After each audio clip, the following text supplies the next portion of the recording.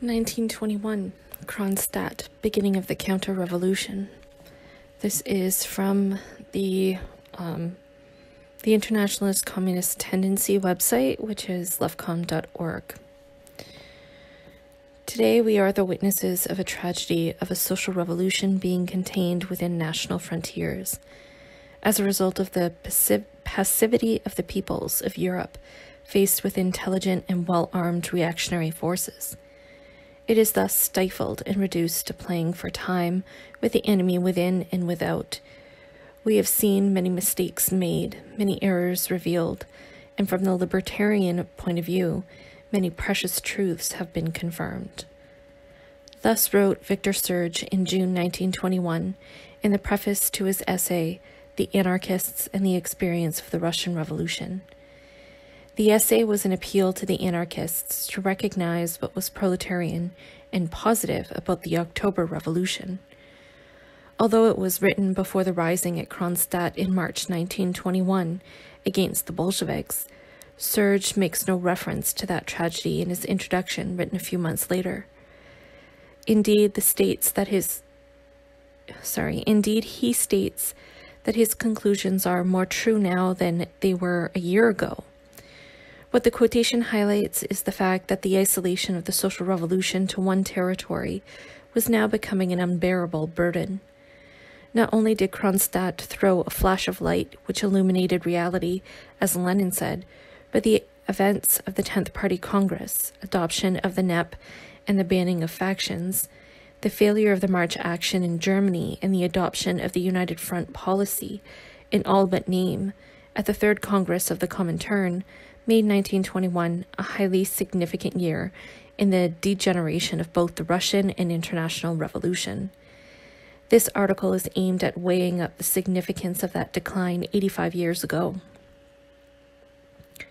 135 years ago, the Paris Commune of 1871 gave a glimpse of what the working class could achieve and how it could run society for itself.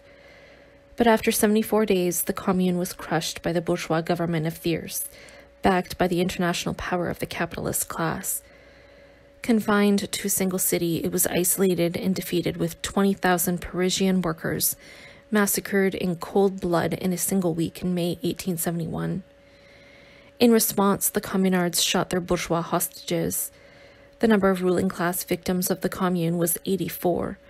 Thus, it is always the white terror of the ruling class that exceeds in numbers and horrors the red terror of the working class. As Marx noted, the problem of the commune was that it was isolated to a single city. The problem of the Russian proletariat was that the revolution was isolated to a single country. The Russian Revolution of October 1917 remains the only occasion in history when a contingent of workers actually overthrew the capitalist state power over an entire territory. For this reason, we continue to examine and try to understand it. The fundamental question is to explain how a, how a revolution which began by offering the widest liberation to the working class and thus to humanity could have become by 1928 one of the greatest tyrannies of the 20th century.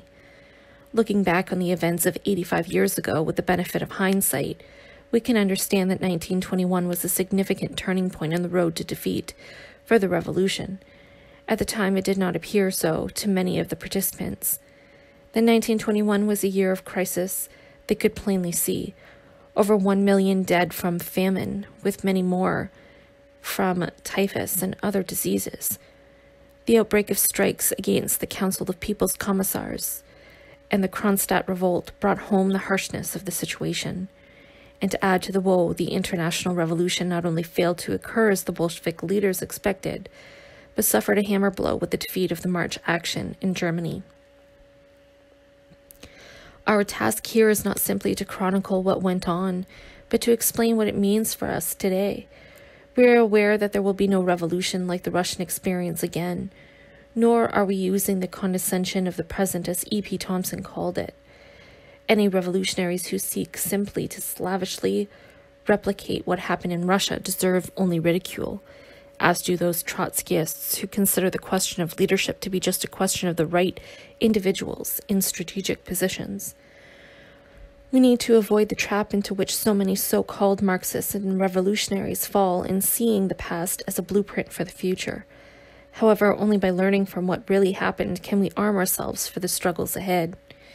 And the first step in this learning process is to debate what the significance of the past is. 1918 to 21. Already, some libertarian Marxists and anarchists will be screaming that the revolution was long, long, was lost long before 1921. We don't deny that Soviet power in the territory of the Russian Socialist Federated Soviet Republic, the name USSR was not adopted until 1923, was already an empty shell by the end of 1920, although there were healthy pockets of it in 1919. Nor do we deny the excesses of the Cheka during the Civil War, where it became a state within the state. But the Red Terror arose out of the Civil War. In November 1917, the Bolsheviks were letting former Tsarist generals go free if they promised not to take up arms against them. A few months later, the same Tsarist generals were not only leading invasions of Russia, armed by British and French imperialism, but were literally crucifying any workers they suspected of Bolshevik sympathies. Although both sides resorted to terror in this class war, it was hardly on the same scale.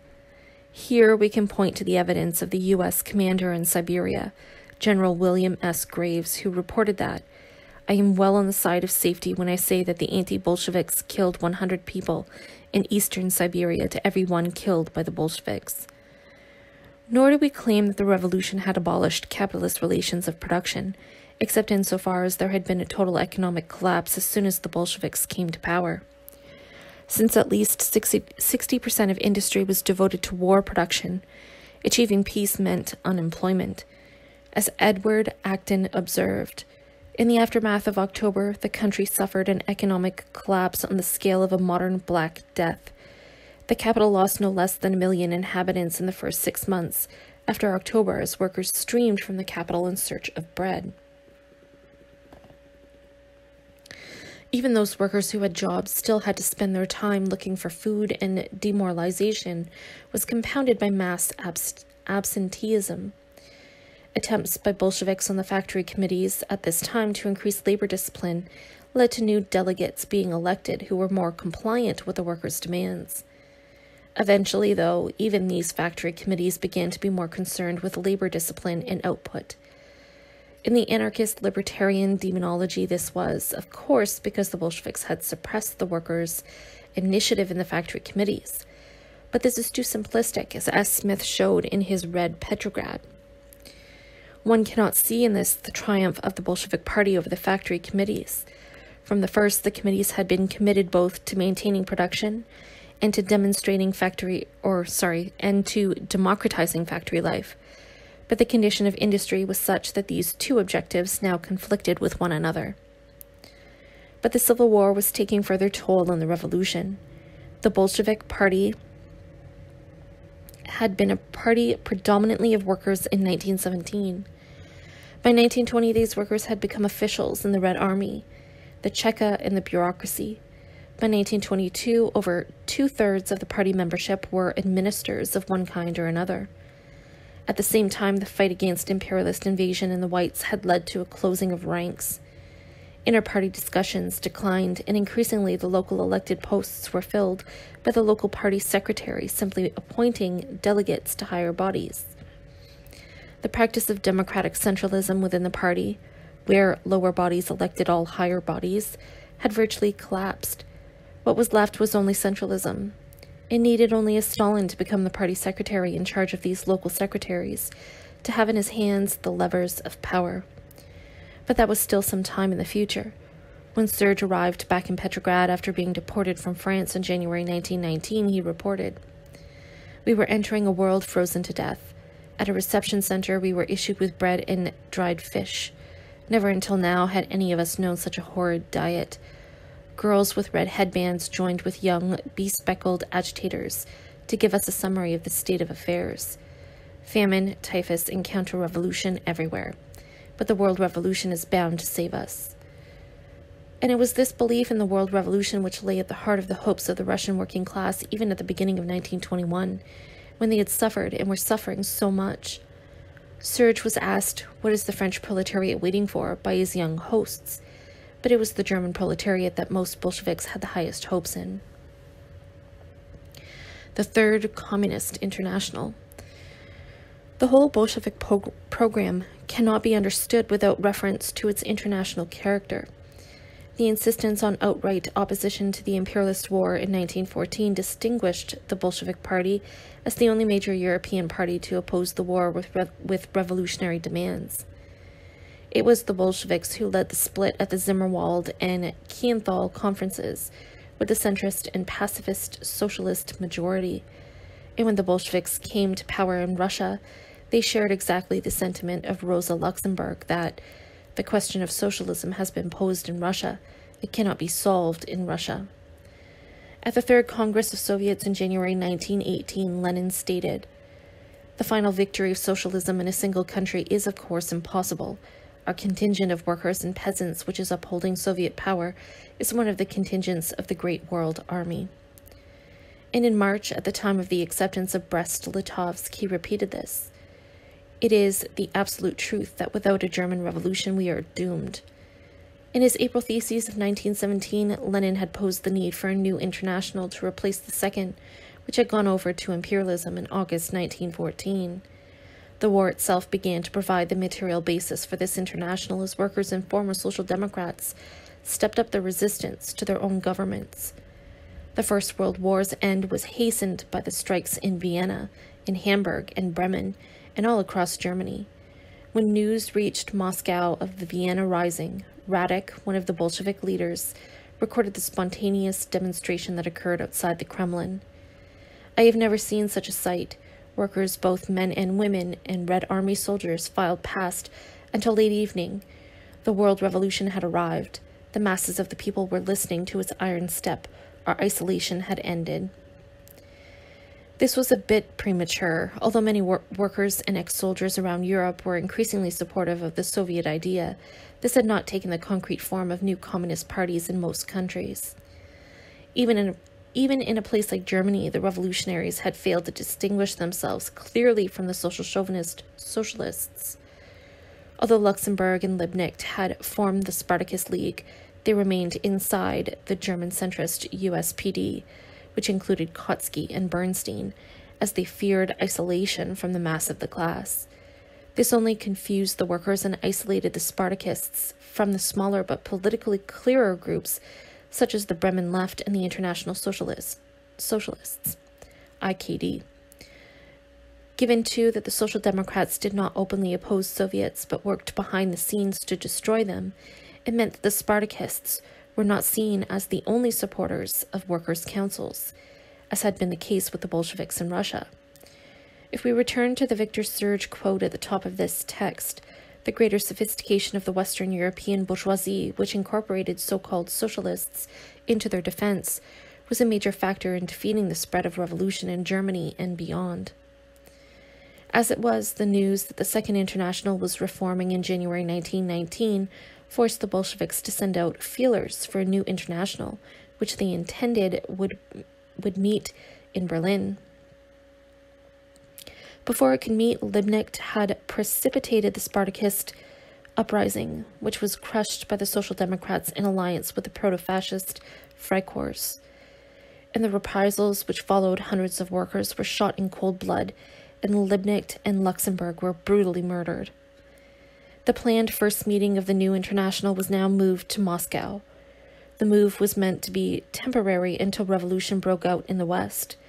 However, this was the first step in the process of inter intertwining of the fate of the Russian Revolution and the International. And because it was the Russian Party which physically and ideologically dominated the International, it very quickly became an organ for defending Soviet power in Russia, whatever problems it was going through. In the event, the First Congress of the Communist International did little more than declare its existence.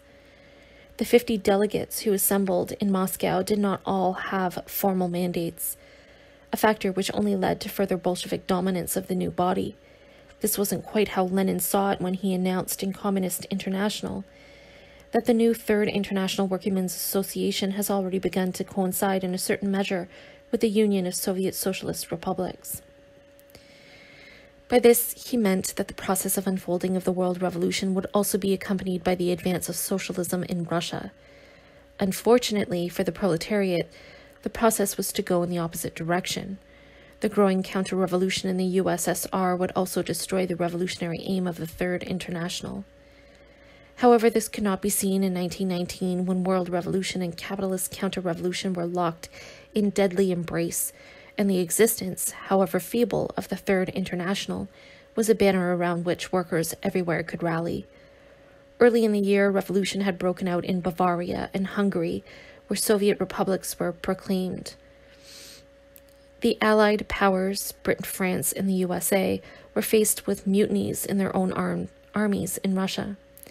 Lloyd George, the British Prime Minister, announced that the British intervention was not only finished, but the revolts on the Clyde and in South Wales were alarming the British state at home.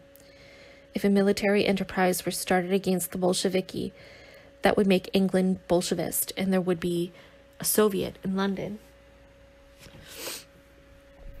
Lenin was talking about July 1919 as our last difficult July, since within a year there would be the victory of the International Soviet Republic. However, the heady atmosphere which so threatened capitalism did not last. By the end of May, the Bavarian Soviet Republic, isolated even in Germany, had collapsed.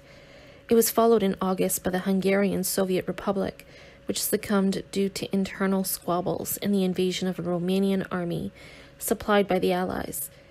By the autumn, the Whites in Russia had reached their most threatening. Yudenich was at the gates of Petrograd. Kolchak was moving from Siberia and Denikin from the Ukraine. In October and November, the continued existence of the regime hung by a thread. To add to the misery, the young German Communist Party, which had lost its best leaders in the murders of January to March 1919, was split by Paul Levi at its Heidelberg Congress in October 1919. The party had adopted the tactics of using existing parliamentary and trades unions to mean trades union means to increase its influence, but only by the narrowest of votes. Not content with this victory, Levi, against the advice of the Bolsheviks, proposed the expulsion of all those who had voted against the majority. The left wing, which constituted half the party and controlled its North German sections, including Berlin, went away to form the German Communist Workers' Party, KAPD. Similar difficulties occurred in different forms in other countries. Lenin tried to win all those who rejected social democratic reformism to the Third International, including anarcho syndicalists. At this time, he also told the British groups negotiating to form a party that he himself was in favor of, using trade unions and parliamentary tactics, but did not condemn those who called for different tactics. By the end of 1920, the Civil War had been won, but Russia remained isolated, and the price of victory was, as we saw at the start of this article, almost a Pyrrhic one. Industrial production was only a fifth of that of 1913, and agricultural production had declined by a half. The Bolshevik economist L. Kritzman described the situation as one of economic collapse unparalleled in the history of humanity. The policy of sending out military detachments to the countryside during the Civil War to forcibly requisition grain had led to 113 peasant revolts. 50,000 followed the ex-SR Antonov in the Tambov region alone. The Bolsheviks had succeeded in retaining state power, but as Bukharin and other leading Bolsheviks, including Lenin, later acknowledged in 1921, they had held on to state power, but had lost the proletariat in the process. For Lenin, this material fact was the single most important reason for the Kronstadt revolt of March 1921. The Petrograd strikes in Kronstadt. There is no more emotive name in the history of the Russian Revolution than Kronstadt. It is the litmus test of everyone's understanding of the way in which the revolution slid to, slid to defeat.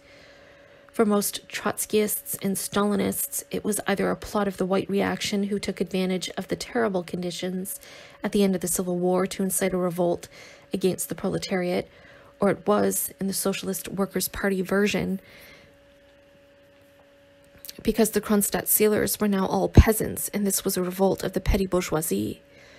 For anarchists, it was the real third revolution against the Bolshevik dictatorship, and for the historians of the capitalist class, it has been a gleeful episode to demonstrate that any alternative to their system to their system ends in bloodshed. E.H. Carr devotes only two one line references to the Kronstadt Revolt in his The Bolshevik Revolution, Volume 1. This only underlines that his is a history of the Soviet state and not of the revolutionary proletariat.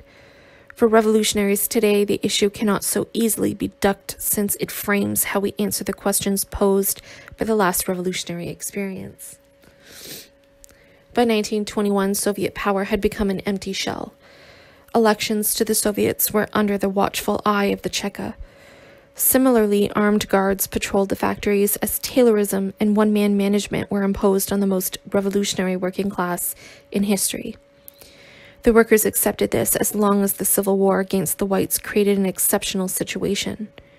At the same time, they had also accepted the abandonment of the election of officers in the armed forces as Trotsky brought in members of the old officer class to defeat the whites. But by the time the last white general had been run out of Russia in December 1920, there were already signs that the emergency regime was to continue. Grain requisitioning carried on. Trotsky had been announced, or Trotsky had even announced that his Red Army methods should be imposed on the whole workforce. The militarization of labor debate, and there were no new elections for the Soviets. Everywhere the talk was of iron discipline and more dictatorship. Little wonder that the party, now increasingly a party of functionaries rather than workers, was prey to bureau- bureaucratization. This bureaucratization in turn led to the emergence of opposition from proletarian groups within the Bolshevik Party. Groups like the Democratic Centralists, led to Osinski and Sapronov, the workers' opposition, led by Shliapnikov and Kollontai, and Myasnikov's workers' group. These oppositions, whatever their weaknesses and errors, wanted a return to the revolutionary principles of 1917. No wonder Lenin could say in February 1921 We must have the courage to look in the face of harsh reality. The party is sick, the party is shaken by fever, and unless it succeeds in quickly and radically curing its own illness, a break will occur which will have fatal consequences for the revolution. But before the party debates could begin at the 10th Congress of the Russian Communist Party in March, the workers of Petrograd and Moscow went on strike. In Petrograd, the strikes were mass affairs demanding freedom of the press, release of political prisoners, and a return to democracy in the state. Some demanded the opening of local food markets to counter growing shortages, which would eventually become famine in 1921. Counter revolutionaries also tried to take advantage of the situation by putting forward demands for, for a return of the Constituent Assembly. The Bolsheviks' reaction was one of panic. Troops were sent in to break up strike meetings and the leaders arrested. The Cheka put around the lie that the movement was dominated by peasant elements, since only the hardcore proletariat was left in Petrograd by this time.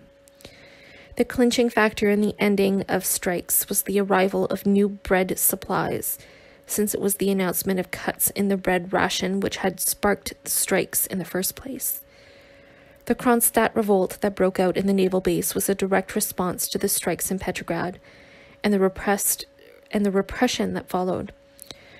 On February 28th, delegates from Petrograd reported on the situation and the program of the sailors of the battleship Petropavlovsk was adopted.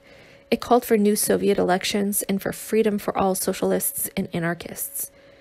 It is noticeable that the program did not call for freedom for the bourgeoisie, and the sailors overwhelmingly rejected a reactionary proposal to recall the Constituent Assembly.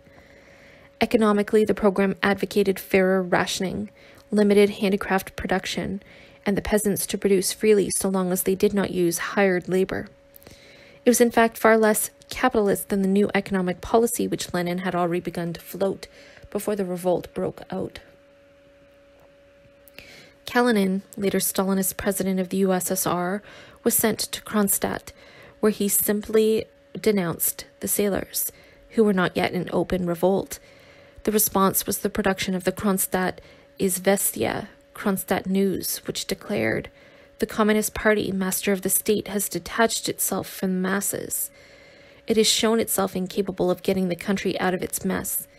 Countless incidents have recently occurred in Petrograd and Moscow, which show that the party has lost the confidence of the masses.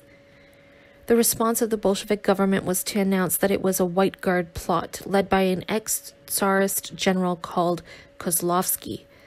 The fact that emigre papers in Paris had spoken of trouble at Kronstadt earlier helped furnish the proof that was needed, despite the known rejection of the counter revolution by the Kronstadters. Fundamentally, the Bolsheviks saw counter revolution as something which could only come from abroad, and therefore the Kronstadters must objective, objectively be working for that counter revolution. There were very important strategic considerations which heightened the panic in government circles. As long as the sea around Kronstadt was frozen, it could be reached. But once the ice melted, as the spring thaw took hold, then Kronstadt would be out of reach and potentially become a base from which a foreign capitalist force could operate. This is why there was no possibility of lengthy negotiations. Trotsky sent the Kronstadters an ultimatum, which incidentally did not include the phrase that the sailors would be shot like partridges. This was in fact a leaflet sent by the Petrograd Defense Committee under Zinoviev. This was rejected on March 7, 1921, when the Kronstadt, when the Kronstadt Izvestia denounced Trotsky as the dictator of Soviet Russia.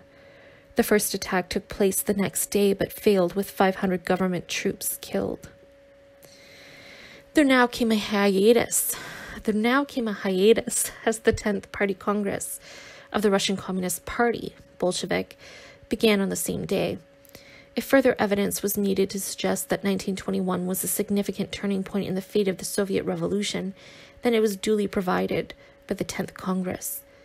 There were three big issues at this conference.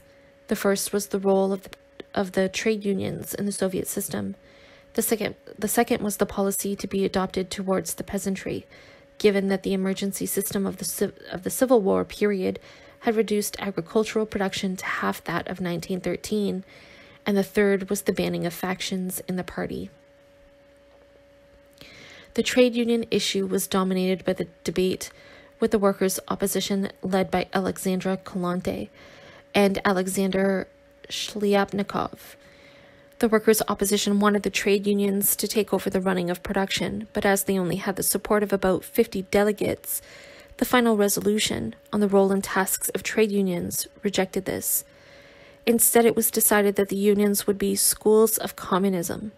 Therefore, they could not be part of the state apparatus. In this light, it was also agreed that the trade unions are the one place where the selection of leaders should be done by the organized masses themselves. This itself is evidence of the extent of the decline of Soviet power, since it implies that there is to be no revival of Soviet democracy. On the 15th of March, the Congress also accepted the need for a new economic policy so that the grain requisitions would be replaced with a tax in kind. In practice, this was even more of a concession to the peasants than the Kronstadters themselves were demanding. Many Bolsheviks opposed it, including Osinski of the Democratic Centralist Group. Ryazanov described it as the peasant Brest, meaning that it was another concession to a class enemy.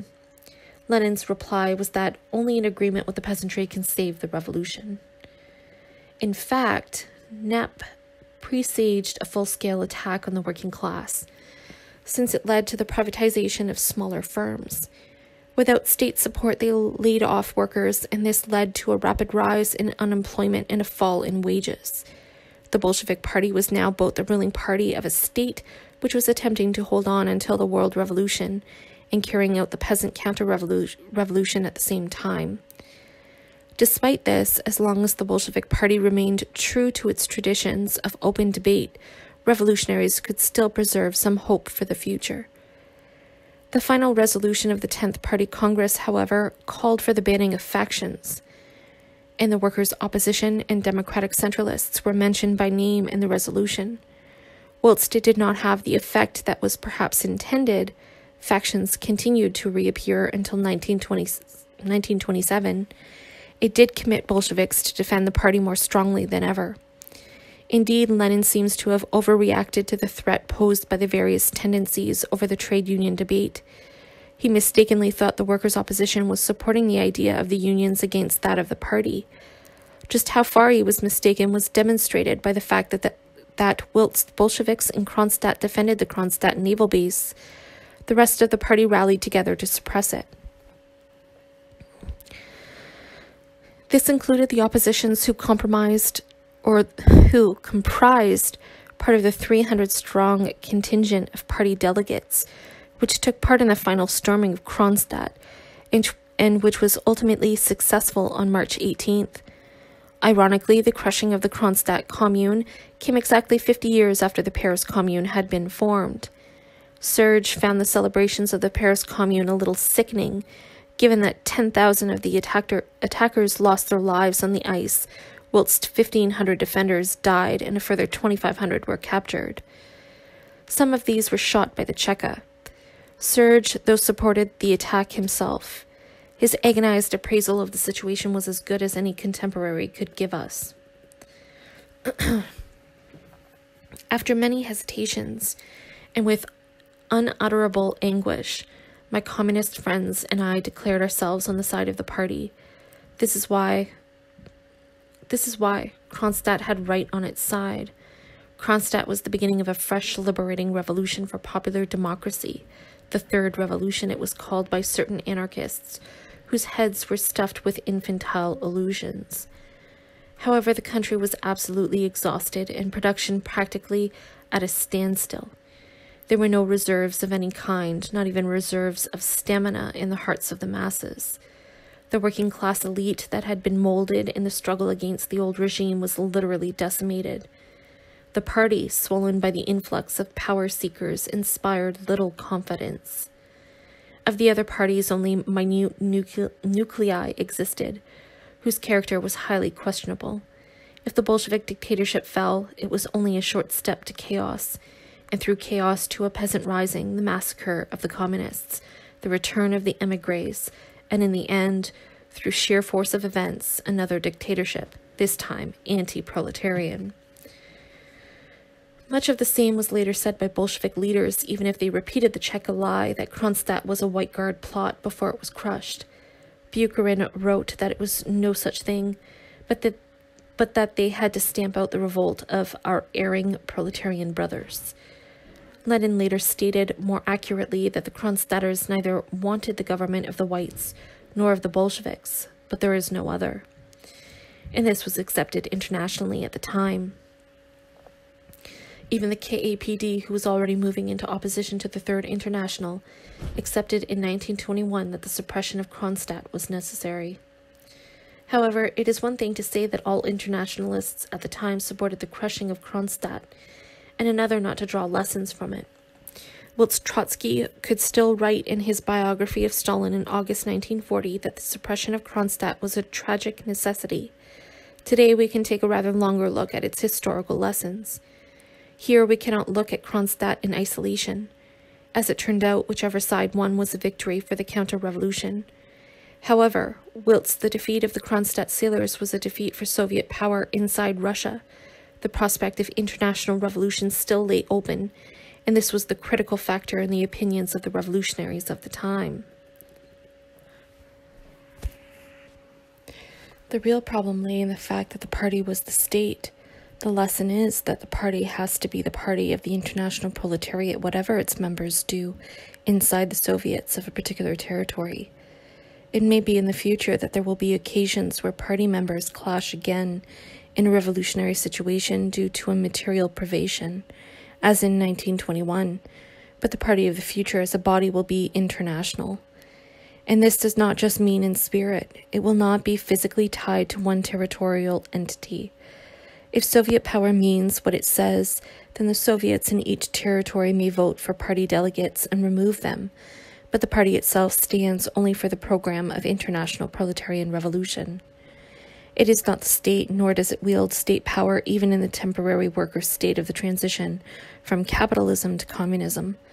For revolutionaries at the time, the young worker state had survived a critical moment. For us, with the benefit of hindsight, we can see that whatever happened at Kronstadt, the counter revolution was on the march. We are still suffering the consequences of that today. The March, Action, and the Third Congress of the Communist International. Kronstadt was not the only event in that month that indicated the ebbing of the revolutionary wave. In Germany, as we saw above, the communists had split between the KAPD and the KPD in 1919, and all attempts to reunite them fell on deaf ears on both sides.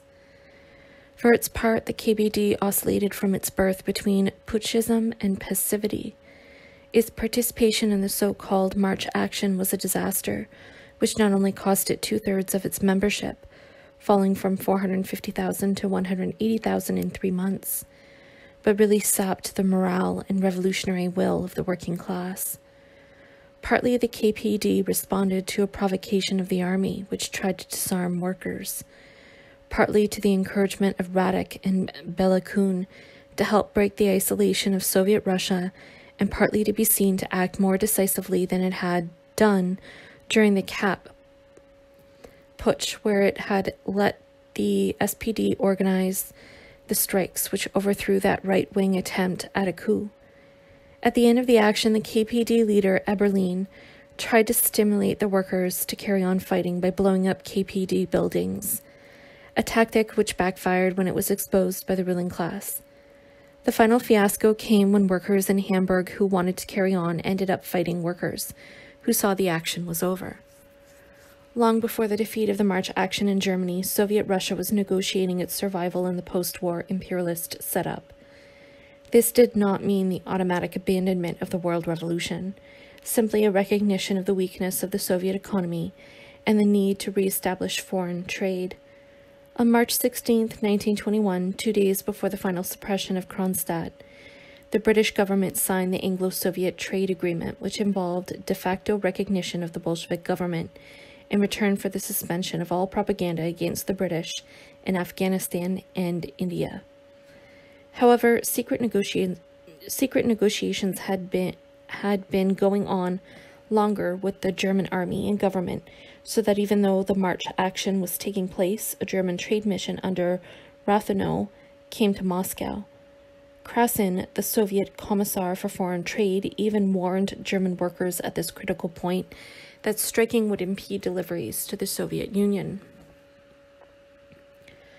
Further evidence that the revolutionary wave was dying out came at the Third Congress of the Third Communist International in June to July of 1921.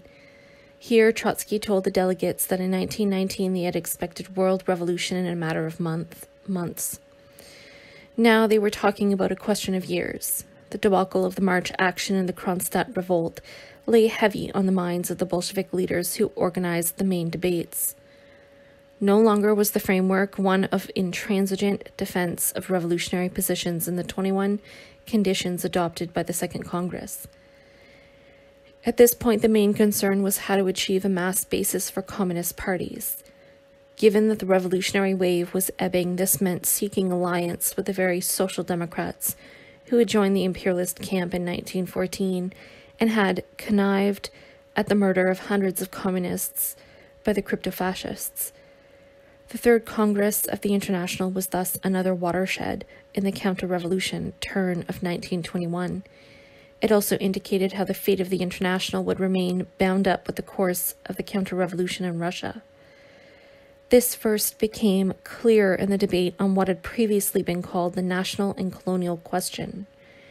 Previously, the International had had an exaggerated policy of seeing national struggles against imperialism as linked to the struggle for communism. Now, only nine months after the Baku Congress, it did not even refer to national and colonial struggles, but to the Eastern question. A Russian trade treaty with the British Empire plus treaties with Persian, Iran, and Turkey meant that these governments were not to be offended. Small wonder that the Indian communist M.N. Roy delivered the only really heavyweight verdict on the debate by denouncing Comintern policy as pure opportunism, more suitable for a Congress of the Second International. The same thing was also true of the shift in policy towards social democracy in general. The United Front with the butchers of the working class would have been proclaimed at the Third Congress if it had not already been associated with the disgraced German KPD leader Paul Levi, who had been, who had been expelled at the beginning of the year. Instead, the exhortation of the Bolshevik leaders in the Third Congress was to the masses. But the communists had already been using this idea, even when trying to split the social democratic parties. So, what could the new slogan mean? Nothing other than a rapprochement with social democracy at all levels. Whilst our political ancestors, who then led the, the Italian Communist Party, had no trouble with the slogan, they did choose to apply it differently. To them, going to the masses meant joining in strikes and other actions with workers in the social democratic parties but continuing to oppose the class collaborationism of their leaders. By December, when the Russian party adopted the slogan of the United Front for the first time, it was clear that the idea was not about working with the rank and file, but with the leaders. This was the first step in abandoning the revolutionary path on an international scale. It was not announced as such, but de facto it was already that. If 1921 showed that the revolution inside Russia had now swung against the working class, it was also the beginning of the process that led to abandoning the proletarian principles of internationalism. In the verdict of our comrades in the, in the Internationalist Communist Party, the Third Congress was the turning point in the history of the Communist International. The contradictions which loomed on a global scale continued to grip the first revolutionary experience. To have made the revolution in any country, to have momentarily defeated an armed conflict, its own bourgeoisie, did not mean socialism was being built, but only the establishment of the necessary political conditions for it. It is absolutely essential to destroy the political instrument through which the bourgeoisie exercises its class domination, and to replace it with another, proletarian one, organized on the basis of an iron class dictatorship. But this in itself is not enough. In order to have gone on effectively towards socialism, the revolution needed a sufficiently developed political structure and an economy which was totally autonomous from the world market, conditions which Russia in those years lacked. Which is why the only salvation from Russia's backwardness lay in revolutionary victory in some Western, or better still, some industrially advanced country. It followed from this that the Communist International and the Bolshevik Party, which, like it or not, was the backbone of the Comintern, had to make every effort to accelerate or at least promote uncompromising revolutionary solutions on the basis of the first two Congresses. However, it was dressed up, abandoning the political autonomy of the class party and the dictatorship of the proletariat, served neither to convince the leaders of social democracy nor to reunite the masses around a program of revolutionary compromise, but only to confuse the international proletariat blunt its political weapon of struggle, and obscure its goals. The legitimate doubt arises that behind the official analysis of the Bolshevik leaders and the Comintern itself, there was the idea that the situation was less favorable than previously foreseen. It was thus deemed worthwhile assisting the still precarious Russian situation by an international alliance with social democracy to give it a firmer guarantee of safety than extend the revolution.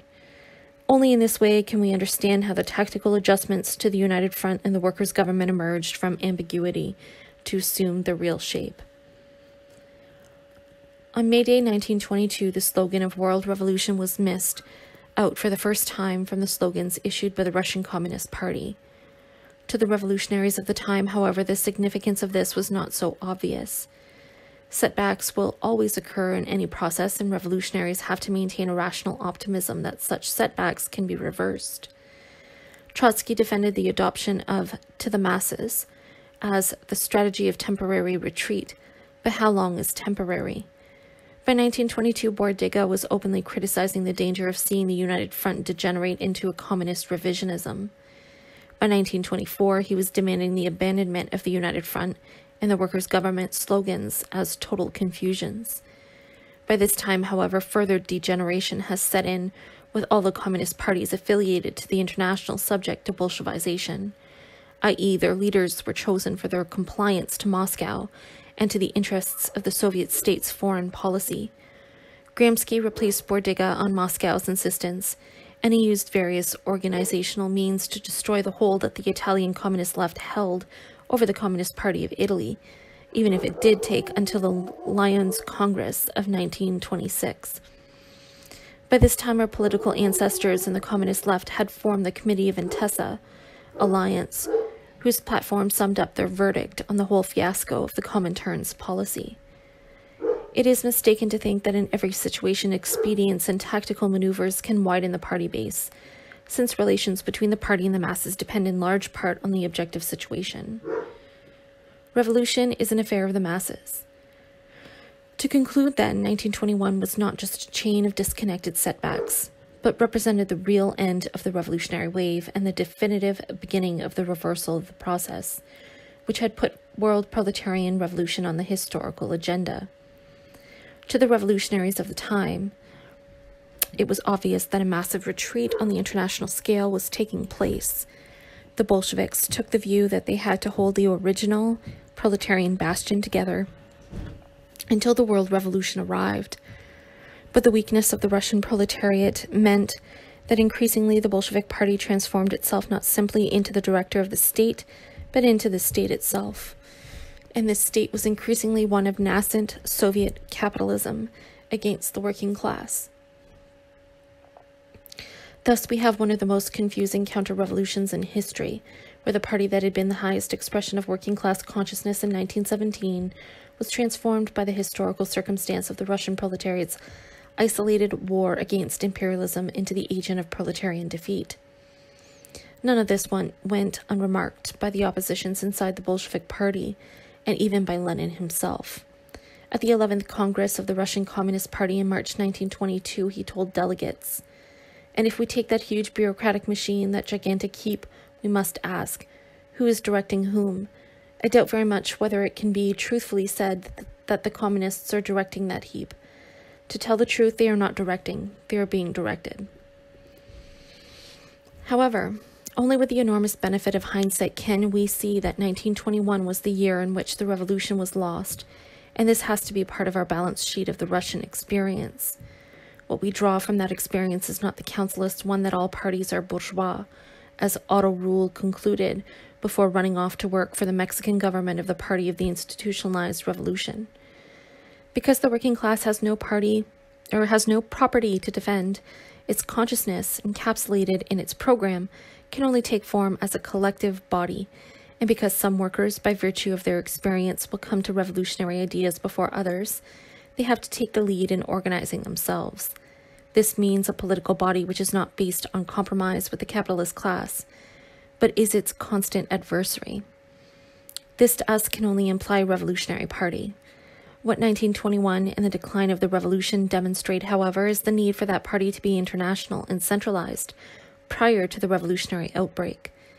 That same party remains outside all governmental or statist functions as a body, whatever its local membership have to do. At a local level, power is wielded by the armed workers' councils. They are the only they are the only state bodies until the bourgeoisie is suppressed worldwide. The party is a political vanguard which defends the program of communism rather than any territory claiming to be en route to communism. There may be those who would argue that this is as utopian as it is idealist, but we have to remember that in 1921 itself, at the 10th Party Congress, for a brief moment, Lenin flirted with the idea of effecting a separation between party and state. He briefly urged a clear specification and demarcation of the, of the respective spheres of each, and proposed that the organs of the state be given much greater autonomy and freedom from the party interference or and freedom from party interference. Harding later Harding later tells us that Lenin recognized almost instantly that his proposal would not work. But this was because the situation in 1921 made it impossible to rewrite the past. The Bolsheviks could not abandon state power because the Soviets were already empty shells. Had this proposal been made in November 1917 and had the Soviets retained political life, then it would have been then it would have been possible. In 1921, the Bolsheviks were reduced to the Micawber position of holding on to state power in the hope that something would turn up in the shape of world revolution.